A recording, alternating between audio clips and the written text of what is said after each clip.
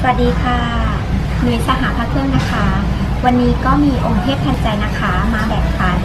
สำหรับวันนี้ก็คือจะเป็นนี่เลยค่ะล็อกเก็ตนะคะล็อกเก็ตเทพทันใจก็จะเป็นสีนะคะ พร้อมเลี่ยมอย่างดีนะคะ ข้างหลังก็จะเป็นเอ่อมียันต์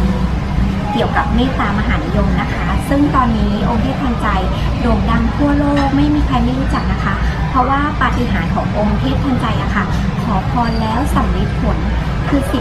ว่าไม่เท่าได้บูชาเองนะคะ ถ้าสนใจก็ติดต่อมาได้ที่ร้านสาขาเครื่องนะคะแฟชั่นและร้านค้าร้านเปิดทุกวันนะคะ เดี๋ยวเชิญชมล็อกเก็ตฉบับเต็มๆเลยนะคะ ด้านหน้า ด้านหน้าองค์เทพทันใจก็จะเป็นเอ่อเป็นสีนะคะ แล้วก็ด้านหลังค่ะ ก็จะเป็นเลี่ยมพร้อมแขวนได้เลยบูชาไปก็คือพร้อมแขวนได้เลยนะคะ พร้อมบูชาได้เลย